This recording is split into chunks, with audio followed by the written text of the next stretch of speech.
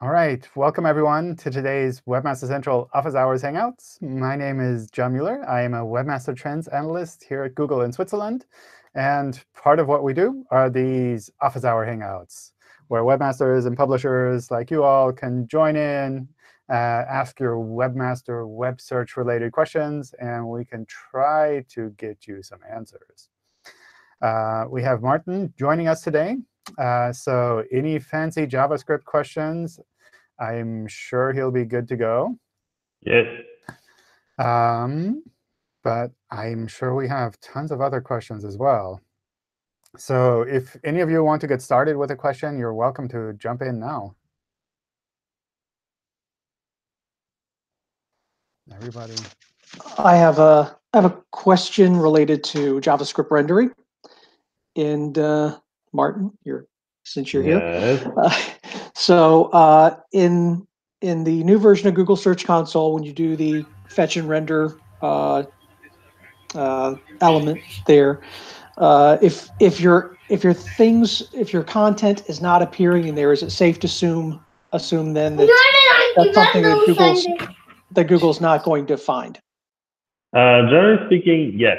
So um, the testing tools sometimes are not able to fetch certain resources due to various constraints and, and certain like things that we are working out on. Um, but generally speaking, if we can fetch all resources and the content does not show up, then it's likely that it's not going to be indexed. Yes. Okay, perfect. Thank you. You're welcome. That's what I'm here for.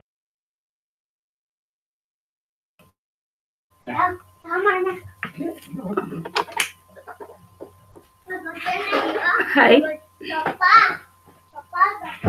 Hi. Uh, yeah, I have questions related to Google Search Console. Uh, I have around 40 sitemap XML files in my sitemap index XML. Uh, and I have around 1,47,000 uh, your web pages. Um, but uh, in the Google Search Console status, it shows only 65,569 URLs have been discovered. Uh, may I know, is there any mistake in my sitemap index or uh, or any issue which I can be fixed or, or from the Google end? Whoops. I, in, in general, the, the, the thing to keep in mind is we generally don't index all pages that we know. Uh, so Okay. even though we, we might know a lot of URLs from a sitemap file, it doesn't mean that we automatically index them. Uh, Okay. So kind that's that's kind of the, the first step. So it's pretty normal for, especially for larger sites, to have a lot of Okay. pages that, that are known, but they're not indexed themselves. Okay. Okay. Um, so I, I wouldn't kind kind of panic and try to think like you're doing anything wrong. Uh, what you can Yeah. do to make it Yeah. a little bit easier is Yeah. to internally link those pages better. So Mm-hmm. so that when we find one page in your website, we can discover all of the pages on the website, even without Okay. the sitemap file. Okay.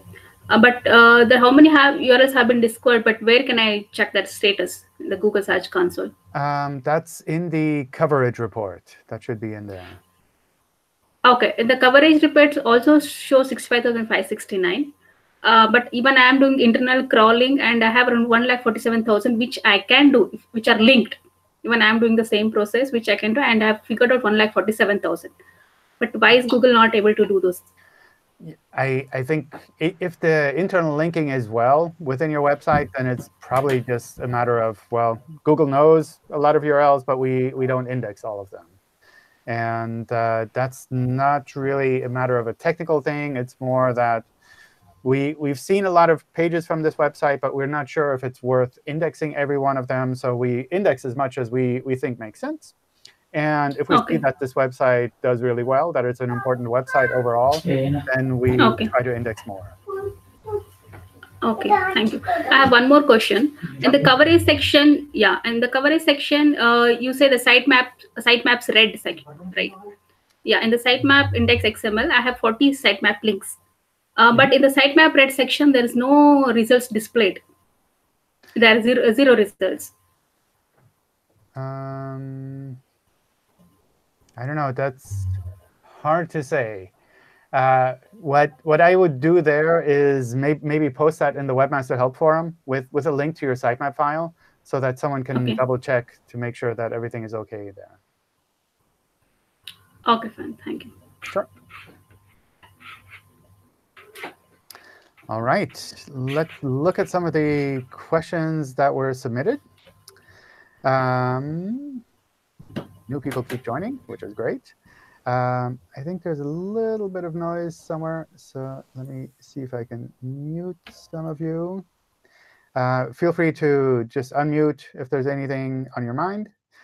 Um, let's see, got hit by the June core update. We're now working on quality content. How many months do I have to wait for recovery?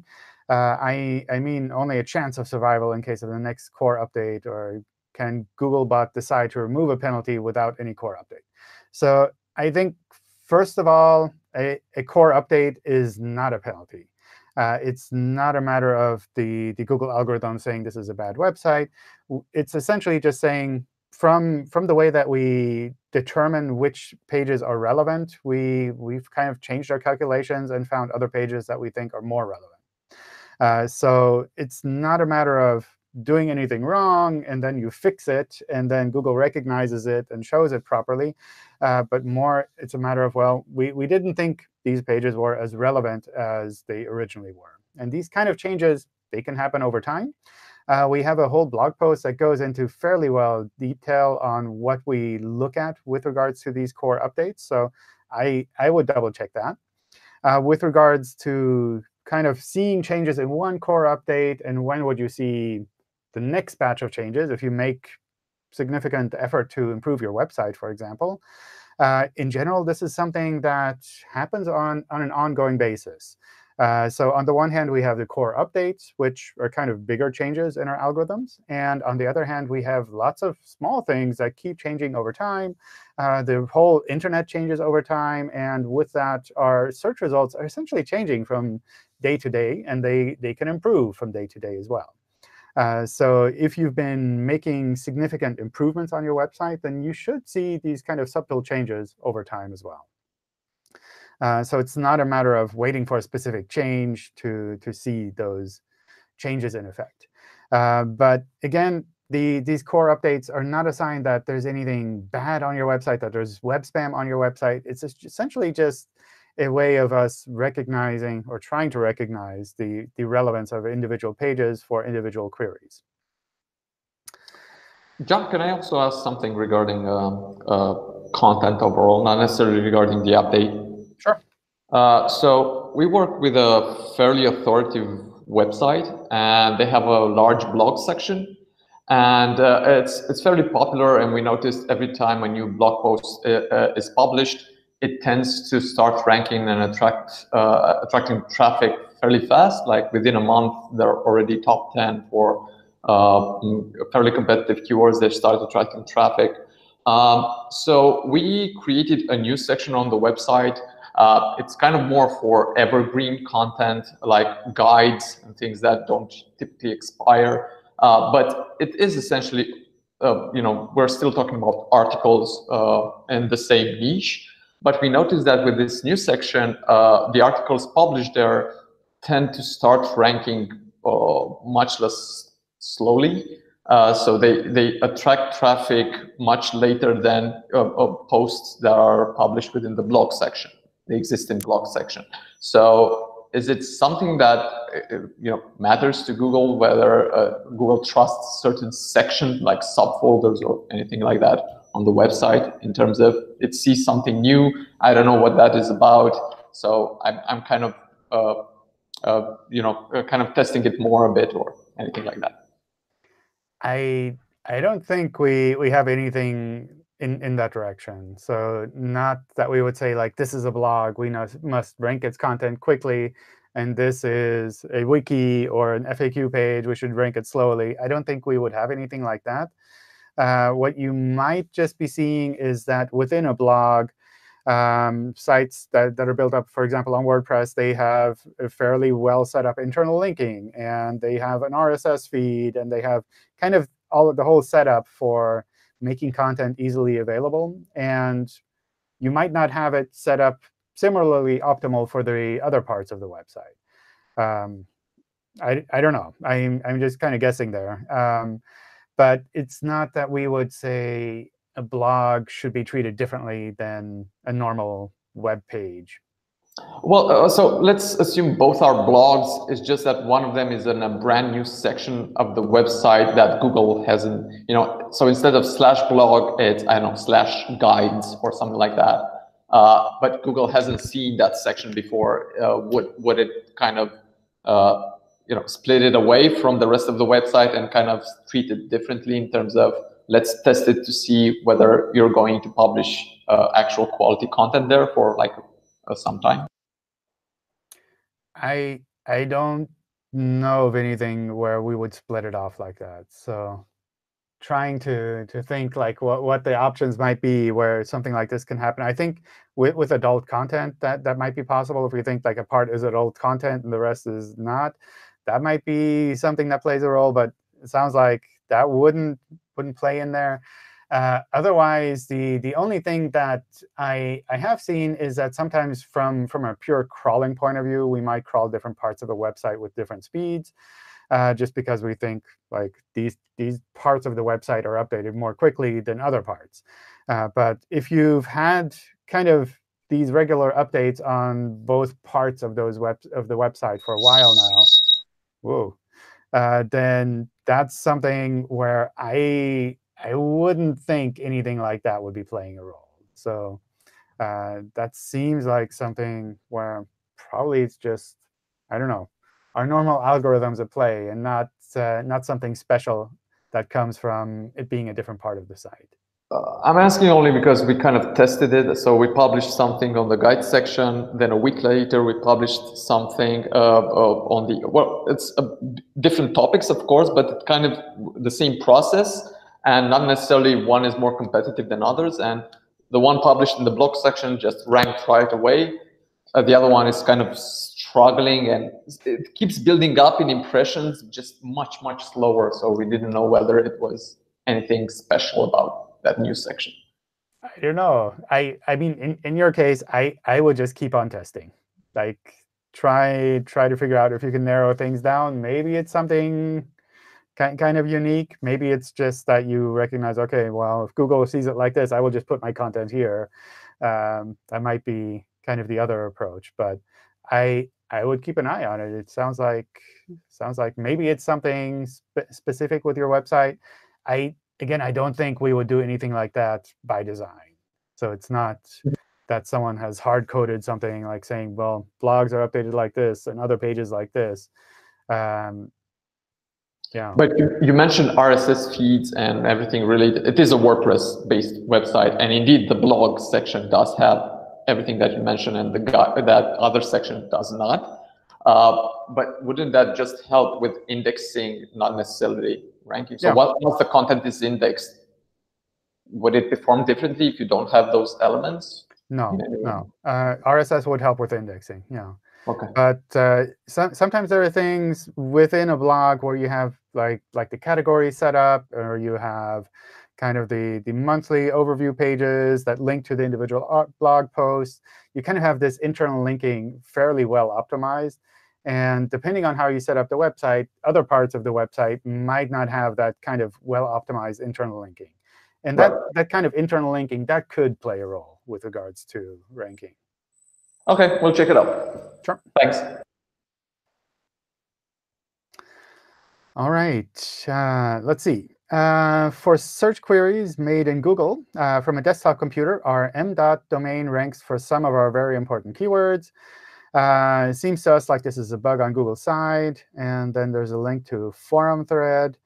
Um, I didn't check the forum thread, so I'm not quite sure exactly what you're seeing. But uh, one of the things that, that is worth mentioning is that, especially with the shift to mobile-first indexing, uh, if you have a separate m.dot site, it's more likely that something like this can happen, uh, in that we might show your m.dot version in the normal desktop search results.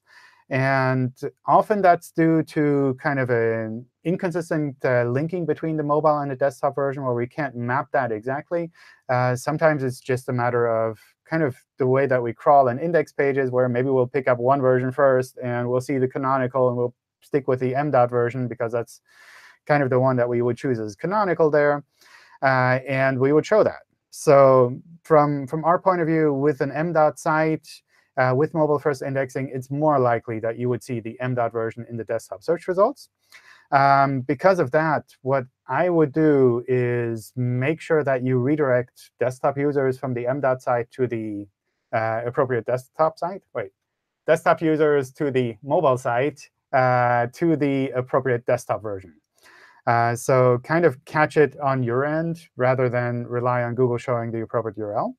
Uh, this is a bit similar to the situation before mobile-first indexing, where sometimes we would show desktop URLs for an m.dot site on mobile. And essentially, it has just kind of shifted around here. And uh, this is something from, from the mobile-first indexing team. I, I talked with them about this uh, earlier today. And uh, from their point of view, we, we do try to catch this as much as we can, but we can't catch it completely. And at the moment, uh, we're, we're thinking that this is probably something that over time will become less of an issue anyway, because people will redirect. And uh, more and more people are using mobile anyway to search. So uh, it's something where we would expect that potentially, if you have an m dot site, this will kind of remain in, in a kind of an unstable situation like this. Um, again, what, what I would just do there is make sure that you redirect from the m.dot version to the desktop version for desktop users. Uh, that also helps us to understand that connection better and to show the right URL at the right time. Uh, so that's kind of the, the best way to handle it, or, or rather, the, the easiest way to handle it. Uh, of course, the best way to handle it would be to use a responsive site or you, to use dynamic serving, you, where you just have a single URL uh, where you don't have all of these differences between the m.dot and the desktop version. Um, because every time you, you have a separate mobile version or a separate version of the site, again, it just makes everything a little bit more complicated. So it's not that we will stop our support for m.dot versions. It's just that if you have this setup and we've shifted to mobile-first indexing, or we're shifting it to mobile-first indexing for your site, then it's possible that you will see this. Hi, John. Hi. So um, yeah, the question was from us. So um, uh, thank you very much for for uh, stepping onto it. Um, yeah, the case is we we actually didn't receive any notification from Google in the Search Console that we would be uh, on mobile first yet. So um, and the redirect from from mobile to desktop is there. So setup should be stable. But it was uh, yeah last week that we that we noticed not only for the German market, so since we're um, having products in, in many markets, we realized it has been in the UK, in, in other markets too. And we have the right canonical and the right alternate. Exactly, yeah. So, so we have done everything Google recommends. So yeah. we're pretty sure we've done the setup well for separate URL situation. and uh, yeah, actually, it's really uh, painful to see it. So yeah, but I mean, if you have redirect set up for desktop users, then they will see the M. dot version, but they'll be redirected to the desktop version anyway. So it's something where users wouldn't wouldn't really see it as much. Uh, but uh, I agree, it it does look weird. And we have also lost rankings. You that wouldn't change anything with the rankings though, because uh, it's it's not that these these pages would rank differently. It's essentially just the URL that's being shown. Okay. So if if you're seeing changes in the rankings there, then that would be due to something Another else. problem. Mm. Yeah. Okay. Okay. All right. Thank you. Thank you. Sure. Um, yeah, someone with a question in between? Hello. Hi.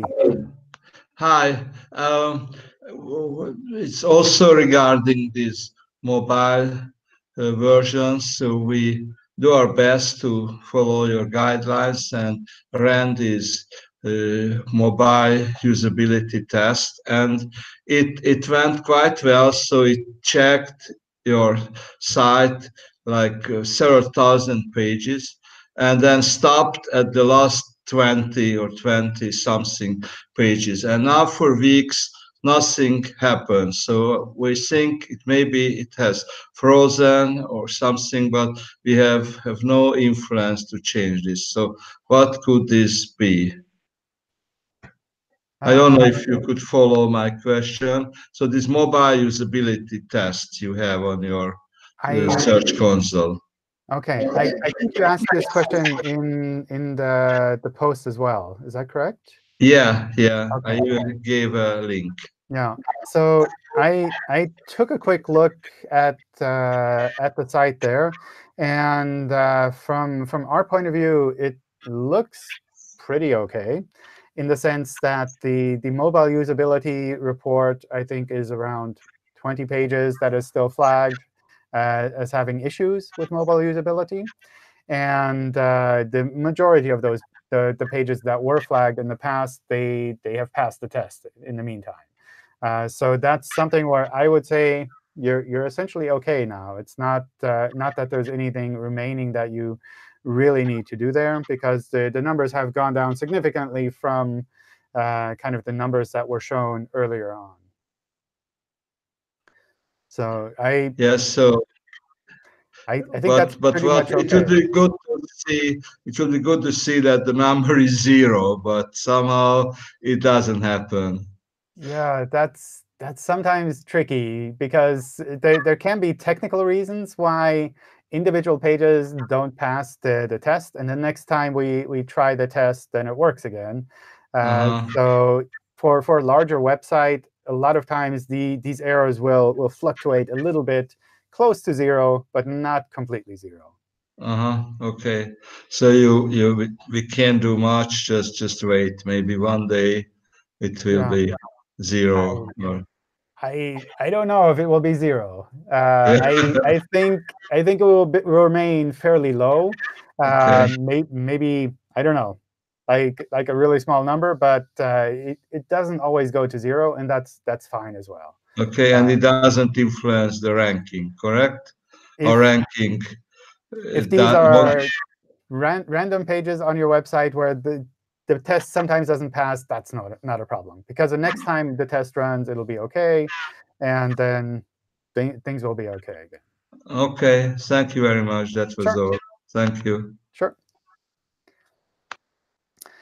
Okay. Um, then a structured data question. We are a news site, and we recently updated our schema setup. Uh, we used to have an organization script as well as an article script. And I, I think the, the change that was made is to move the organization script into the article script uh, so that it's not separate anymore. Um, I, I took a quick look at the, the website. I think it's linked. And uh, from what I can tell, we pick up both parts of the markup fine. So we, we pick up the uh, organization markup, we pick up the article markup uh, with the logo as well. So I think that's something where, where you should be fine.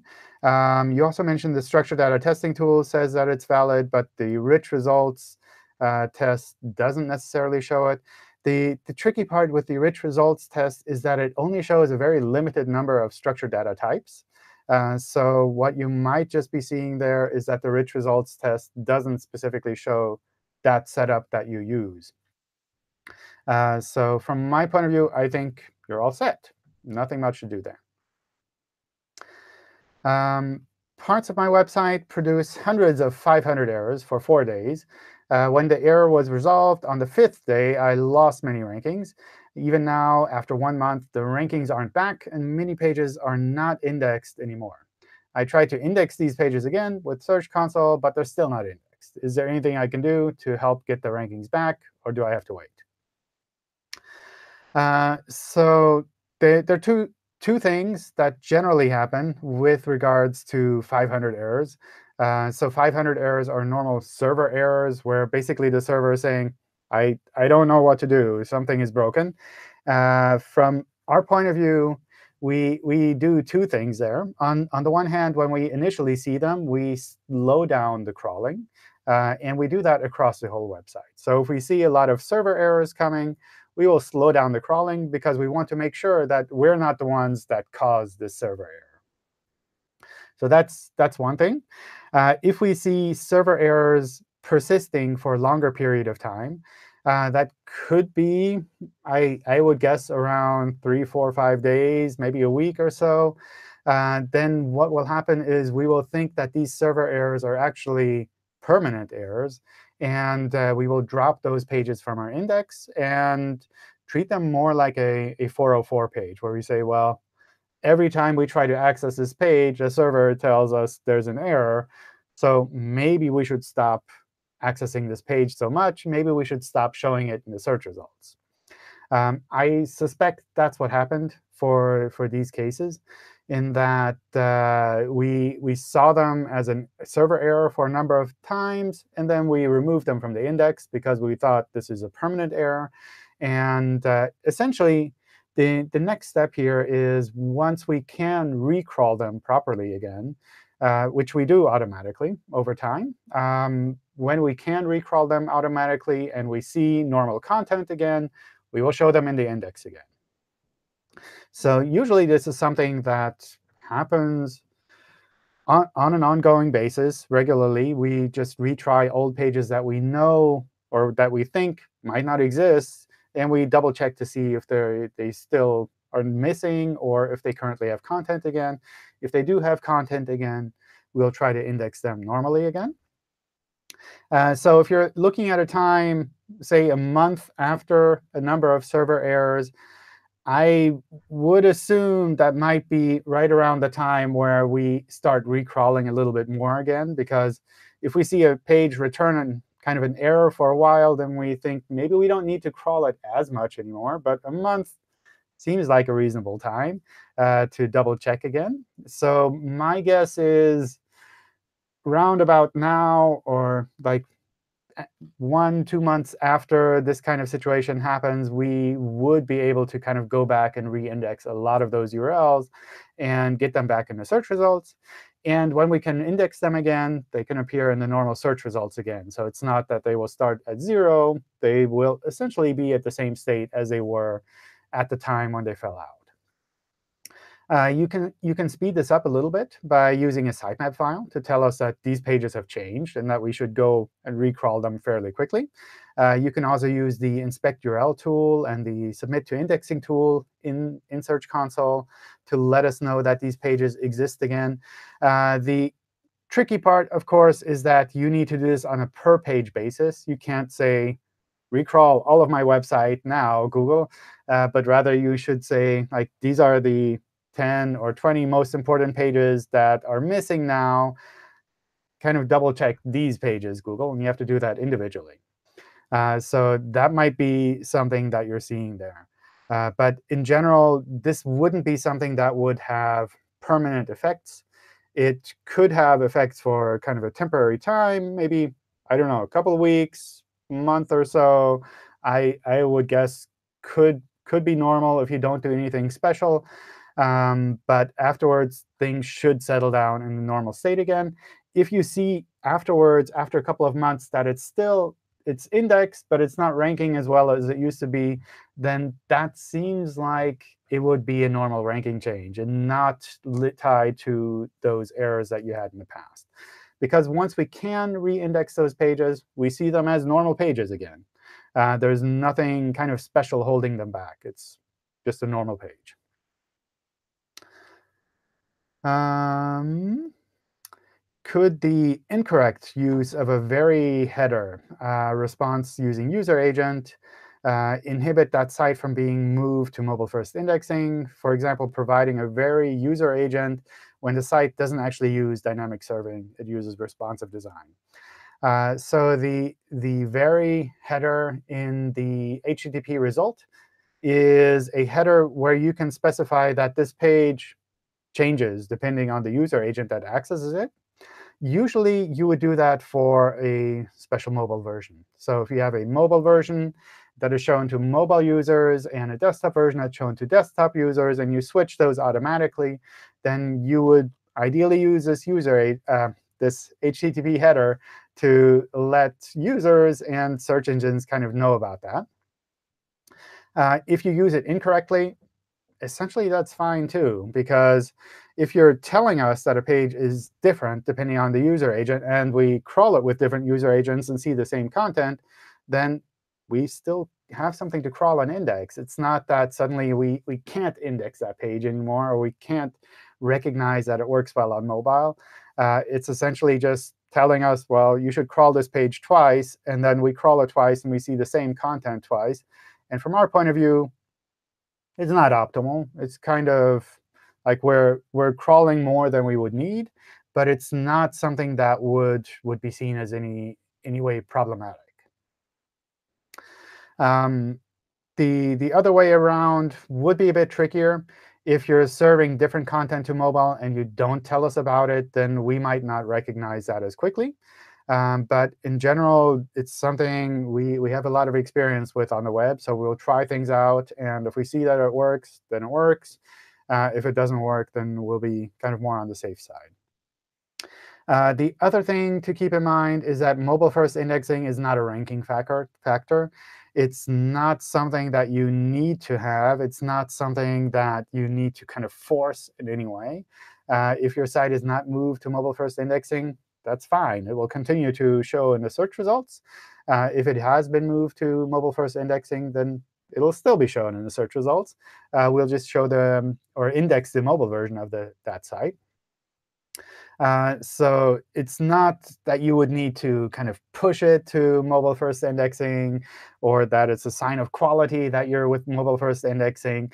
From our point of view, it's essentially just a technical change in, in how we crawl and index those pages. It's not, not a quality signal. Um, after checking, oh, I think this is the mobile usability test question. Um, I would like to migrate a site from the current subdomain, so example.wordpress.com, to a new domain, like example.com. I already set up the 301 redirect, but I cannot use the change of address tool in Search Console since I can't verify an already redirected WordPress subdomain. Uh, do you have any suggestions on how to manage this type of migration? Uh, that's that's a good question. Uh, we we get that every now and then. Uh, you like people moving from a subdomain or moving to a subdomain, um, people moving a, a subdirectory of a website to a different domain. Uh, all of these things are essentially normal site moves from our point of view. Um, but uh, they don't work with the change of address tool in Search Console.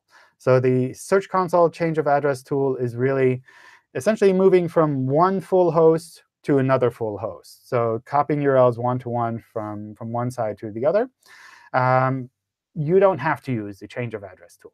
If you've set up 301 redirects properly, if you're doing everything else that we have in our documentation set up properly, then essentially we'd be able to kind of process that move anyway and treat it as a normal move.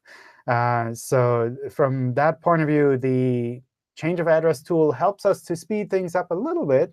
But even without that tool, we're sometimes able to process a site move within a couple of days. Uh, so I would double check the Help Center, which has a fairly comprehensive guide on everything that you need to watch out for. And uh, follow the steps there, and you should be good to go, even without the change of address tool in Search Console. Um, I recently discovered that I have tens of thousands of backlinks from my own IP address. It's not shared, and uh, twice as many from my IP address, but without the last number. Uh, should I be worried? Is it safe to disavow backlinks from your own IP address? Uh, no major changes to the website for quite a long time that could have caused this problem.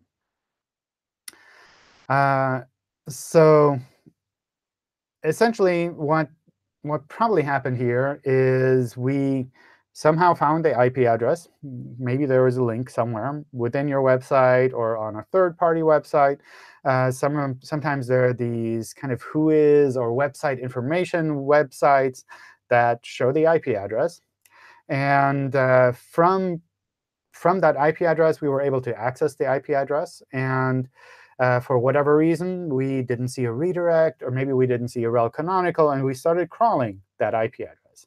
And if you serve the same website on the IP address directly as you have on the rest of the website, then we'll think, well, here's a nice website. And we start to crawl that website uh, within your IP address range, essentially. And uh, when that happens, if you have links to your normal website within that, then we will think, well, there's a link to this other website here, and we'll show that in Search Console as well. Uh, so from, from that point of view, like that's kind of suboptimal, uh, but it's not, not bad. Uh, so it's not something that, that is a critical issue in the sense that you have spammy links or anything like that that you need to worry about. Essentially, these are links from your own website to your own website, just using a different host name, using the IP address instead of the host name. And uh, that's what we show in Search Console. Uh, what I would do in a, in a case like this is uh, trying to find ways to reduce the, the crawling that can happen on the IP address directly. Um, you can do this by setting up a redirect, for example. Uh, you can do this by making sure that all of your pages have a rel canonical set to the proper full domain version. And uh, with that, that's something where if we discover one page on this IP address, we can try to crawl it, and we see the redirect to your normal website. And then essentially, we crawl your normal website from, from there on. So that's from, from that point of view, it's something that you can clean up. Uh, it's definitely worth cleaning that up, because if anything from your IP address is indexed in the search results, users might be going there, which is probably a bit confusing to them. Um, and uh, it's not something that you need to kind of disavow or process within the backlinks uh, report in Search Console. Uh, so I, I would see it as a sign as either currently or in the past, your IP address was indexable. You can fix that with the redirect and with the rel canonical. Uh, but past that, it's not something critical that you need to change. Um, one of my clients has health food focused website and uses an ad network as one of the ways to generate revenue. The ad network uses JavaScript to generate text-based links. Some of the links are sketchy, uh, such as natural cancer cures, when the website has nothing to do with that. I was wondering if Googlebot would render those advertisements and potentially attribute the generated content to the website. Uh, should we be worried about advertisements potentially triggering an algorithmic penalty depending on what the ads say? Uh, we're looking to move away from this particular network anyway because of the negative user experience is just currently in our waterfall stack as the last resort. Uh, so I, I definitely would look into this purely from, from a user's point of view, uh, because users don't know where the content comes from on your website. They look at your website, and if you suddenly have a link to natural cancer cures and you kind of promote some third-party website with that link, then users might think that that's something that you're providing on an editorial basis. Uh, so that's something where, where I would be kind of cautious about that anyway. Uh, with regards to whether or not Google would see that as a part of the page's content, that's more a technical question in the sense of when Google renders these pages, does it see these links?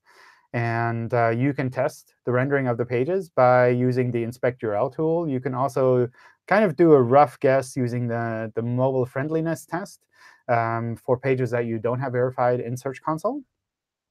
And with that, you can kind of roughly see is this script triggering? Is it showing content within the pages or not?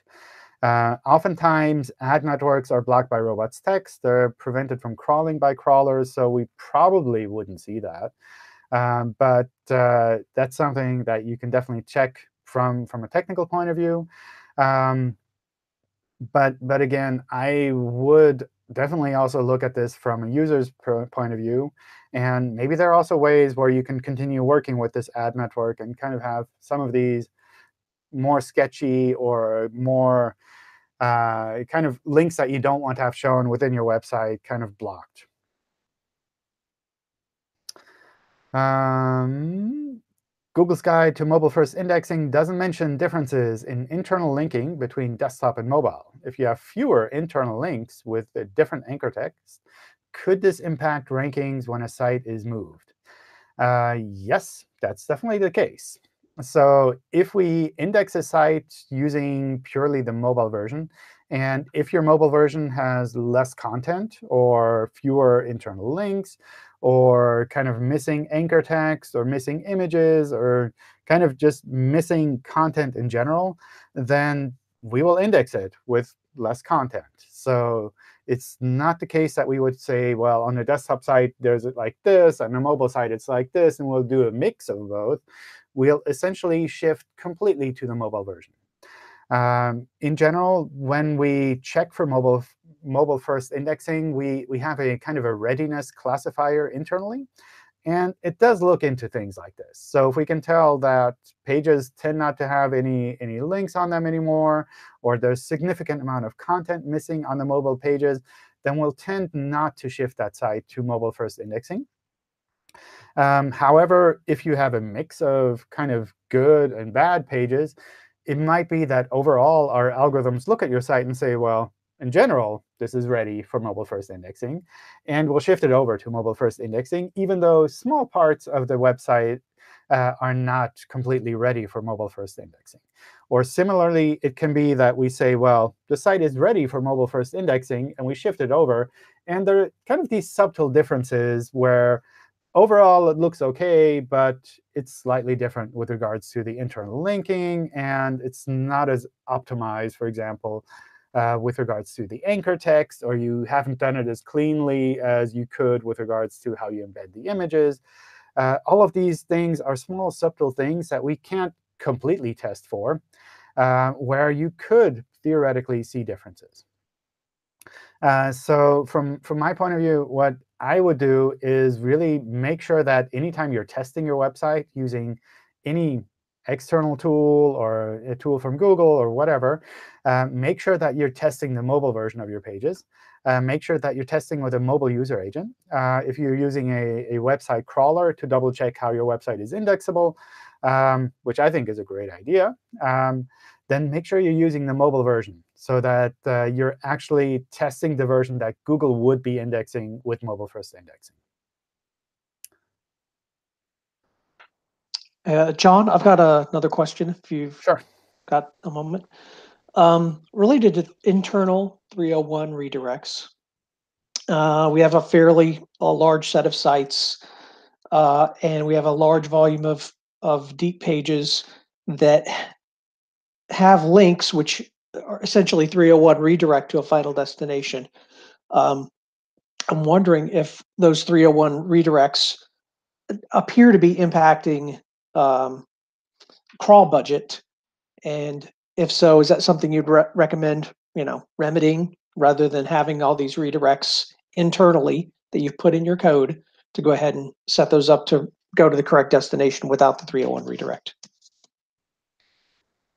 Um, good, good question. So I think it's always tricky with crawl budget because we we don't really show how much crawl budget a, site has, and it's really hard to kind of determine what all is included there. Um, with, in general, when it comes to redirects within a website, if you're doing less than, I think it's five hops in one set, then we wouldn't count that against the site with regards to crawl budget. We would essentially just follow that set of redirects. Uh, if it takes more than five hops to, to reach the destination, then we would crawl that in a second round again. Um, but in general, when, when we're looking at website, it's really rare that a site has more than five hops uh, for a single URL to, to kind of access that. And sometimes you can trigger it artificially in that you like maybe you know it's on HTTPS and www, and if you access the non-www HTTP version, then you have like first the redirect to HTTPS and then the redirect to www. Which is something you could like artificially trigger, something where maybe you would have four or five hops to, to reach the destination. Uh, but if we're not actively crawling those URLs through all of those redirects, then that wouldn't have any effect on kind of the normal crawl budget.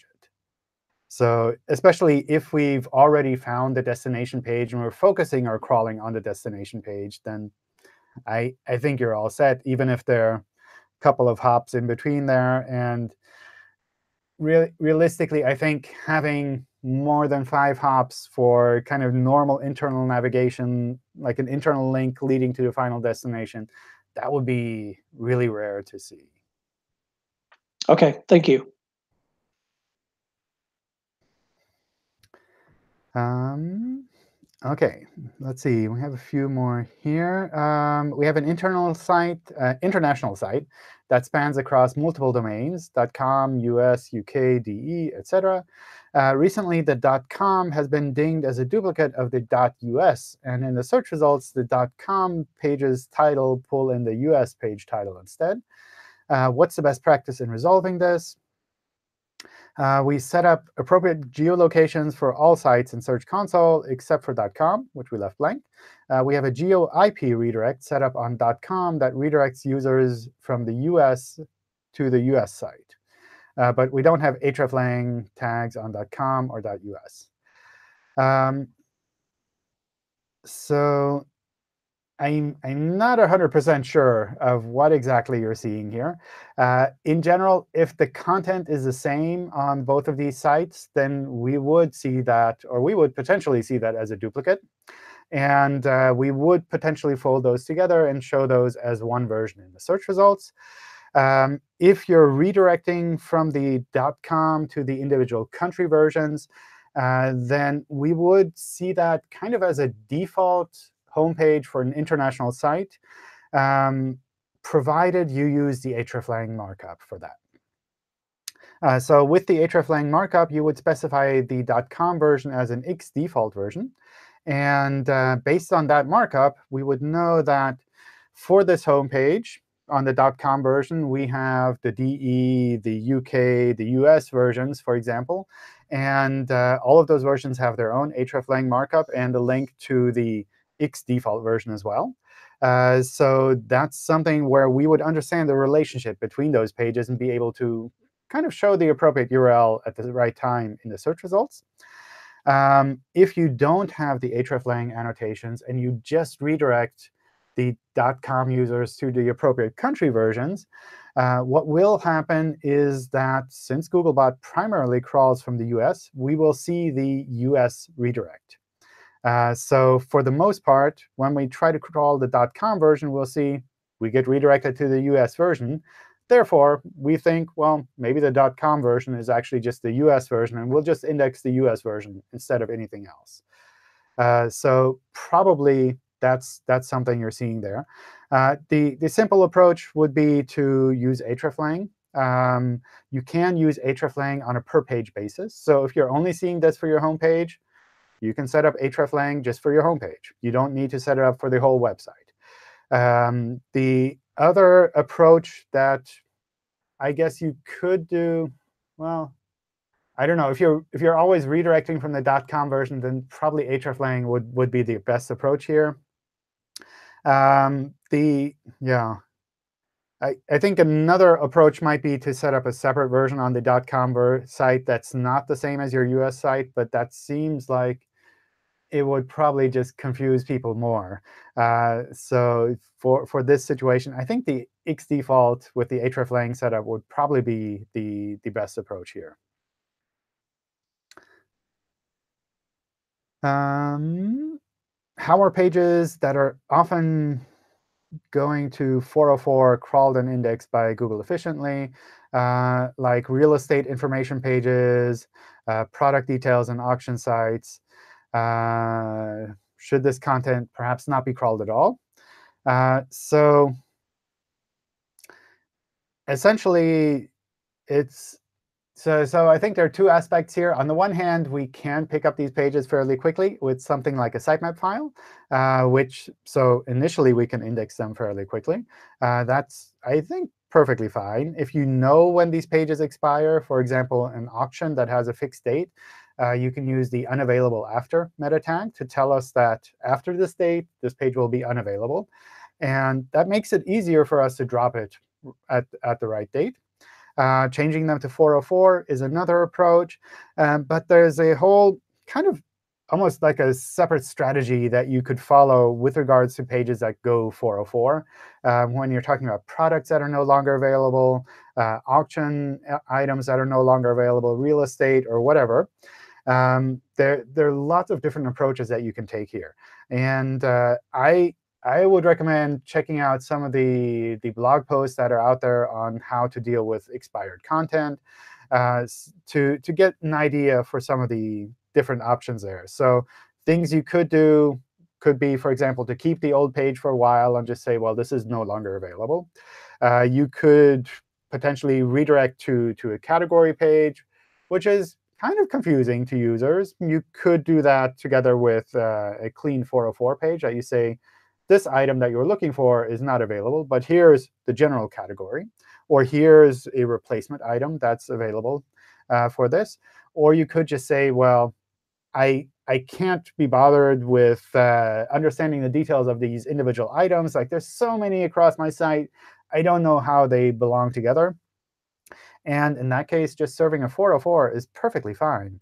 Uh, so what will generally happen in cases like this is uh, if you look at your server logs or if you look at the pages that are crawled, you'll see that Google finds a lot of 404 pages. And from our point of view, that's perfectly fine. It's not a sign that there's anything wrong with the website if it serves 404 pages. It's essentially just telling us these pages no longer exist. And from our point of view, we'll be like, fine, OK, we'll focus on other pages on your website. That's perfectly OK. OK, looks like we, we just have a few minutes left. So I'd like to give any of you a chance to jump in with the last question if there's anything critical on your mind.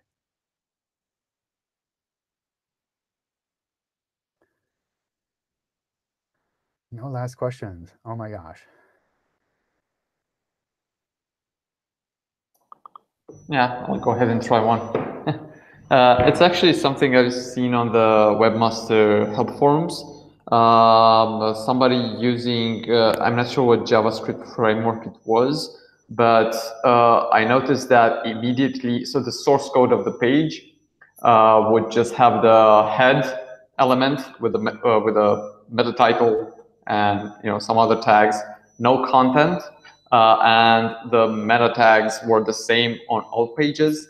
And a few seconds, you know, after rendering, you'll uh, uh, get changed uh, meta tags, including the meta title and added content, of course. Um, and the user was complaining that uh, for some of the pages, the Google selected canonical tag was the home page, even though the content of these pages was fairly different. Um, so I'm assuming this is due to the fact that uh, maybe Google hasn't indexed the render version yet, and Google has just indexed the uh, non, uh, you know, non-render version, pure HTML, and sees well, basically these two pages pages are the same, so I'll just fold them into one before actually rendering and seeing oh, so it's separate content, different content. Do you want to take this one, Martin? Sorry, I have muted myself to not interrupt. Uh, I was distracted for a second. What was the question again? Sorry. Uh, no worries. Uh, I, I, can send you the forum link afterwards. Uh, so it was uh, uh, somebody who is using a JavaScript framework to render the content. Um, the, the source content before any rendering is just the head element with the same meta title across all pages and mm -hmm. basically no content, just some JavaScript code there. After rendering, the meta title changes, uh, the content gets added, pages start to look different. Uh, and they were complaining that in, uh, in Search Console, um, some of their pages had the Google selected canonical tag uh, to the homepage. So mm-hmm. um, I'm guessing this is because Google hasn't rendered the uh, or hasn't indexed the rendered version of those pages yet. So they are just looking at the non-rendered versions, which basically look the same across all pages, and fold them into one before actually, you know, rendering and and indexing the rendered version, which is Yeah. different. That is definitely possible. It can also be that there's some specific JavaScript error that prevents us from rendering it successfully, and then that would also happen. Because then in that case, if there's a render problem, then we basically see all pages as the same, as you said, like if it's not rendered, if it's not loading the dynamic content. Uh, and then we have a case where we think that it's a duplication, and then we would collapse it into the home page probably, or any page really. Um, it would be useful to have the URL to be able to like look if this is a problem on our side or on their side. But definitely send me the forum thread and I'll take a look. Uh, what I noticed, uh, I tested some of the URLs using the mobile uh, uh, rendering test tool, and they seem to look fine. Uh, it seemed to render the uh, those pages correctly. Mhm. I'm not sure if it is a, a, a, a JavaScript error. Uh, I think it's just a matter of time before you know. the Can be that it's a matter of time, yeah. yeah, I'll just I'll just post the forum thread afterwards. Awesome. Thank you very much. No worries. Very good question. Cool. Yeah, I I think it's it's sometimes tricky with with these JavaScript pages, uh, in that uh, it's it's also really hard to tell what happened when Google saw it. Uh, where maybe it works now, maybe they changed something subtle with the framework, with the setup, and now it all works. And it didn't work in the past, which is kind of like the these set of URLs that got uh, copied together. Uh, and May, maybe it's just a matter of time until things settle down again. But yeah, always exciting. Cool. OK. With that, we're pretty much out of time. Uh, I, I want to thank you all for all of the questions that you submitted. Uh, thanks for joining in for the interesting questions that you had here live. Thanks for answering a bunch of the JavaScript stuff, Martin. Woohoo! Uh, and hopefully, I'll see you all again in one of the future Hangouts. Um, I'll put this on YouTube probably later on today. So if you want to watch yourself on the big screen, like, you'll be there. Uh, all right. And with that, I wish you all a great afternoon or a great day, depending on your time of day. And see you next time. Bye Bye, bye, everyone. everyone. Thank you.